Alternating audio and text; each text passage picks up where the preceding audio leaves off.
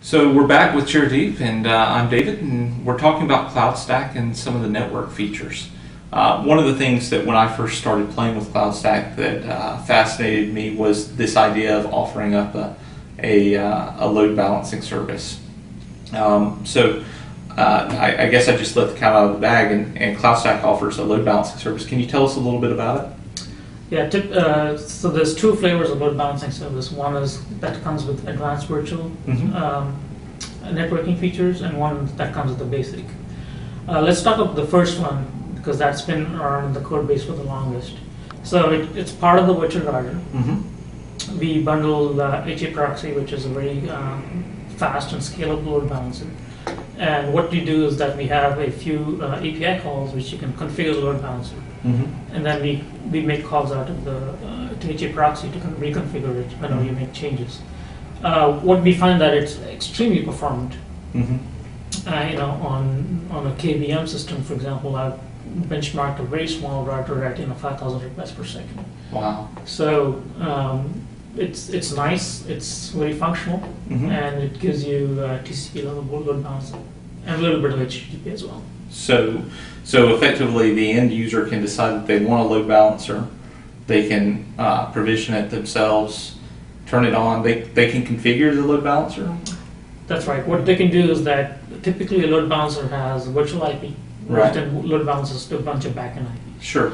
So you, you go to the UI and then with a few clicks you say, well, this is the public IP I want to be load balanced. Mm-hmm. Which port do you want to be load balanced?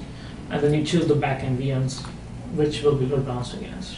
Um, and so you can even uh, you can even tell it what type of uh, load balancing uh, scheme to use. Uh. That's right. So once you, you can select the, the protocol, which is TCP, mm-hmm. and then once you select TCP, you can select the port. If it's 80, uh, which is 80 or 443, we have zero bits kind of HTTP. So we mm-hmm. make a few more tweaks in the, in the back end to tell the HA proxy that it's HTTP. Um, and then you can also choose the uh, the how it balances against the backend. So it can be round robin, it can be uh, least loaded, or it can be source IP. Right. With source IP, it gives you a little bit of stickiness, so mm-hmm. that you know if somebody is using shopping cart, uh, you know they're not going to get redirected to a different backend right. uh, web server every time and then lose their state. Mm-hmm. Um, but source IP is the, currently the, the, best way to do stickiness today. Mm-hmm.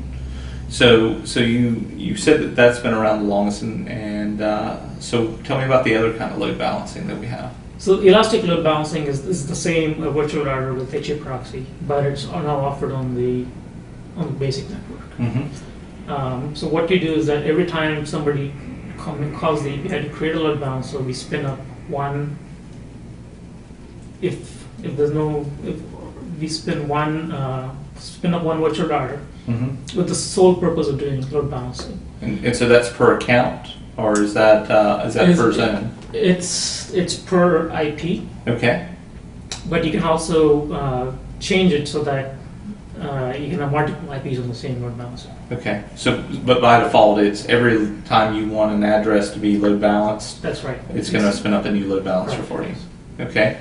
And so, so what's some of the difference uh, with? I mean, obviously you don't have the, the virtual router that you do with with advanced networking, but what, what's different about uh, about the elastic load balancer? The the main difference is that with uh, with the advanced uh, virtual, you have the two interfaces. You have the public mm-hmm. Uh, interface and then the guest interface, or the, the private interface. And so you're taking traffic from the from the public and then load balancing on, on the guest network. Right. Uh, with the uh, elastic load balancer, the way we designed it is that the two networks are the same. Mm-hmm. So you get traffic on on the guest network and you balance against the guest network. So, so, it, so there's two hair- interfaces there. There's only one interface, so it kind of hairpins up okay. on, on, the same uh, eight zero interface. Interesting. And and uh, how is that? Uh, how is that as far as scalability? Do you run able to run the same type of uh, load that you are with the Absolutely, because it's the same, you know, HA proxy, you know, right. on, the same software level.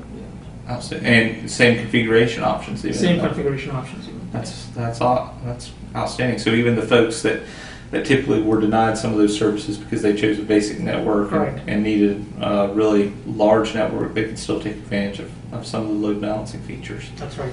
Now, I know that we also uh, we also support some hardware load balancing. Can you tell us about that? That's right. Just like in the firewall, we support the external, like Juniper SRX, we can support an F5 or a NetScaler Mm-hmm. as the external uh, load balancer.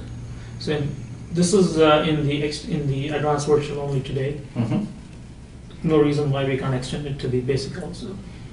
So, so you could effectively, you can still allow a person to, that's an end user who typically wouldn't have admin access to your load balancer to, to provision load balancing services off of it. That's right. So what you would do is that if, if it's for example the F5, uh, you would grab a virtual IP for the F5. Mm-hmm. And the, actually, uh, there's two modes for the F5 actually. One is, do you want the F5 to be protected by a load, by a firewall, Mm-hmm. or do you trust the F5 to be, you know, robust and resilient enough to protect itself? Mm-hmm. Uh, some customers choose to have run them side by side, saying that you know I want the full performance of the lo- of the of the load balancer. I don't want the firewall in between. Sure. And some of them choose to run the firewall behind Mm-hmm. or in line with the uh, with the load balancer. Sorry, the load balancer behind the firewall. Firewall, yeah. And so what do we, we do is we just grab a, uh, VIP for that uh, for the load balancer, and then everything else works as before. Wow. So that's a that's a lot of power basically handed out and delegated. Oh, I, oh yes, absolutely. I was just looking at some uh, customer logs the other day, and you know, a single one of their single customers had you know, like 80 petabyte, 80 terabytes of traffic in two weeks. So that's the kind of uh, traffic people are seeing already. That, that's impressive. Yeah. Um, well, I appreciate you uh, coming and talking to us about uh, some of the some of those uh, load balancing features. Welcome.